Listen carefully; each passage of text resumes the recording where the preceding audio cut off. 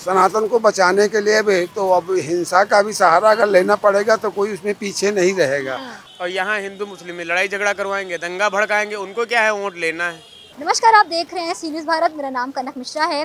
जैसा कि आप सभी को पता है कि 10 सीटों पर उपचुनाव होने वाला है ऐसे में कोई नेता कोई ना कोई कमेंटबाजी तो कर ही देते हैं। तो आजकल धार्मिक चीज़ों को लेकर के ज़्यादा खलबली मची हुई है। लोग किसी दूसरे के धर्म पे कमेंट कर रहे हैं। वहीं योगी आदित्यनाथ जी ने कहा है कि अगर धर्म से कोई खिलवाड़ करेगा तो फिर उसके लिए हिंसा भी करना पड़े तो हम करेंगे। तो आइए हम जनता से बात करते हैं क्या सच में हिंदू मुस्लिम या फिर जाति विवाद ये सारी चीज़ें सत्ता में बनी हुई हैं और ये धरातल पर भी हैं। आइए बात करते हैं। क्या नाम है आपका? हम्म, हरिवर्धन यादव। अच्छा ये बताइए कि क्या आपको लगता है कि ये हिंदू मुस्लिम और आपस में ये सारे विवाद चल रहे हैं? नहीं ये सब तो विवाद चल रहा है लेकिन इसका कोई मतलब नहीं। आज सबको जो है अपने रोजी रोटी रोज़गार से ज़रूरत है। हम्म। हैं?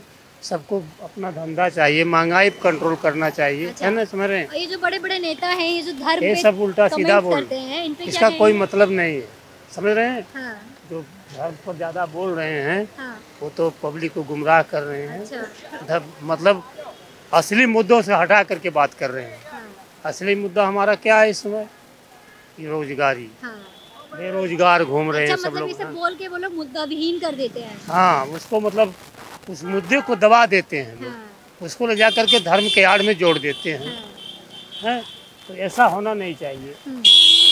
आदमी की हर जगह जो है गरीबी अमीरी हर चीज़ का ध्यान रख करके मतलब डेवलप्ड करना चाहिए विकास करना चाहिए सबको रोज़गार मिलना चाहिए महँगाई पर कंट्रोल करना चाहिए इन सब मुद्दों से हट करके धार्मिक मुद्दा पर ले जाते हैं हम लोग। कोई भी पार्टी हो समझ? किसी पार्टी विशेष से मतलब नहीं है। हाँ। मेन मतलब यही है। क्या नाम है आपका? आचार्य रविंद्र योगी। अच्छा ये बताइए कि योगी जी कह रहे हैं कि अगर धर्म के लिए हिंसा करनी पड़ेगी तो हम हिंसा भी करेंगे। और आए दिन जो नेता हैं वो एक दूसरे के धर्म पे कमेंटबाजी कर रहे होते हैं लाइव डिबेट के दौरान लड़ने लग जा रहे हैं। तो इस पे क्या कहेंगे आप? बिल्कुल अपने धर्म को बचाने के लिए अपने सनातन को बचाने के लिए भी तो अब हिंसा का भी सहारा अगर लेना पड़ेगा तो कोई उसमें पीछे नहीं रहेगा। क्योंकि अभी तक जिन जिन लोगों ने यही तो किया है कि हमेशा हमारे धर्म को टारगेट किया गया हमारे धर्म को गाली सनातन को विपक्षी ने? विपक्ष ने कांग्रेस ने और हाँ। सपा ने और मुसलमानों ने तो हमेशा हमारे धर्म को ही टारगेट किया हमारे सनातन धर्म को खत्म करने का पूरा कुचर्क रचा जिसको करते रहे जिसके कारण हम सनातन और हिंदू बढ़ते चले गए बांट करके उन लोगों ने राज किया जिसका आज एक खामियाजा भुगत रहे हैं कि हम लोग कहाँ के कहाँ पहुँच गए वो कहाँ से कहाँ पहुँच गए। तो इसके लिए अब अभी आप देख लीजिए वहाँ फिलिस्तीन में क्या हो रहा। हो वहाँ पे रहा है प्रोटेस्ट यहाँ हो रहा। है। तो वो धर्म के लिए ही तो कर रहे हैं को, कोई ऐसा तो नहीं कर रहे हैं तो हम जो आपको अपने धर्म बचाने की अगर ज़िम्मेदारी तो हमको भी अपने धर्म को बचाने की ज़िम्मेदारी पूर्ण अधिकार है और हम अपने धर्म की बात करेंगे और उसके लिए किसी हद तक जा सकते हैं। हाँ उसमें कोई संकोच नहीं है। माननीय मुख्यमंत्री जी संत महंत हैं और अगर इनको बता रहे हैं आपके द्वारा पता चल रहा है कि जो है कह रहे हैं कि धर्म के लिए अगर हिंसा भी करनी पड़ेगी तो हम करेंगे। तो ये बात शोभा नहीं देता और जनता स्वीकार भी नहीं करेगी।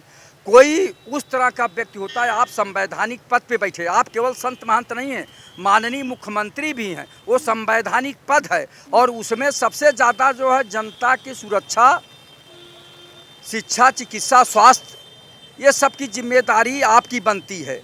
आप जब यहाँ रहते हैं और इस पद पे रहते हैं तो आप इस तरह की भाषा का प्रयोग नहीं कर सकते। अगर आप मठ में हैं, तब भी आपको संयमित भाषा का ही उपयोग होना च- करना चाहिए। लेकिन ऐसा न करके जो है, जनता में एक तरह का संशय पैदा कर रहे हैं कि संत महान तो हमेशा शांत का दूत बनते हैं, शांत की बात करते हैं। और ये जो इस तरह की बात माननीय मुख्यमंत्री जी या जो संत महंत की जो है बाणी से निकल रहा तो ये बहुत ही दूरगामी परिणाम लाएगा। इस तरह की भाषा नहीं बोलना चाहिए।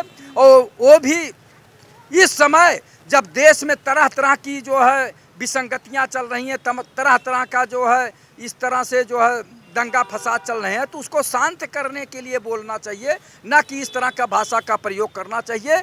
जितने भी भारतवासी हैं, उसमें से कम से कम पंचानवे परसेंट शांतिप्रिय रहना चाहते हैं। अच्छा।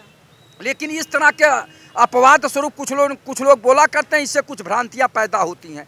तो इससे बचना चाहिए। वो भी संवैधानिक पद पे बैठे हुए व्यक्ति को तो बहुत बचना चाहिए। क्या नाम है आपका? मेरा नाम अभिषेक दीक्षित है।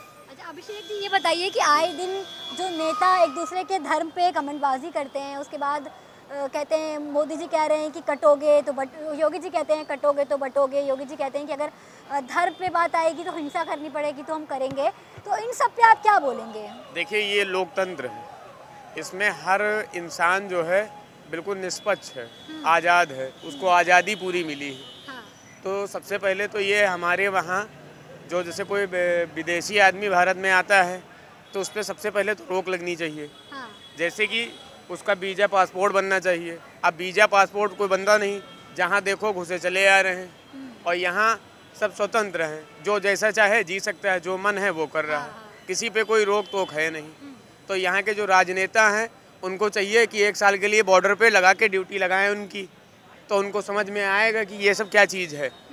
अब वो राजनीति करते हैं और यहाँ हिंदू मुस्लिम में लड़ाई झगड़ा करवाएँगे दंगा भड़काएँगे उनको क्या है वोट लेना है। बाकी मरती जनता है। हम लोग हैं, बेचारे यहाँ दस हज़ार रुपये में काम कर रहे हैं। तो हम लोगों को कोई नुकसान फ़ायदा है? नहीं है।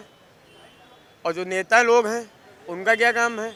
इधर उधर भटकना, राजनीति करना, और जैसे चार लोग बैठे हैं, उसमें उल्टी सीधी बातें बोलना, लड़ाई करवाना, मारपीट करवाना, भड़काना, यही सब करवाते हैं।